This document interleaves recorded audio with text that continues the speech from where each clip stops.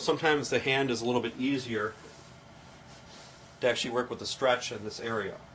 So again, do, we did a pinky, pinky, wrap the fingers, then eventually you're just going to go around like this for the stretch. Or here's another one, two fingers here, finger in here, like this, you're going to interlock. So the, the middle finger, that's one that's sticking up. You're actually going to separate to the palm area.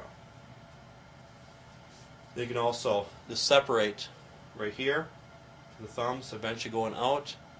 So again, a great massage technique, otherwise you can make it into a stretch.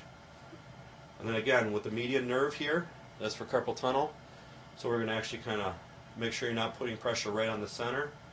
And eventually bring it out, pronator quadratus region for the muscle. So you can kind of separate that area.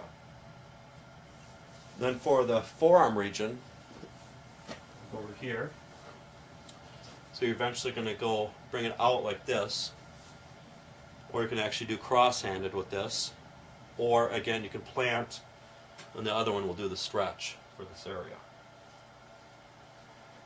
Okay, let's go to the arm and elbow region.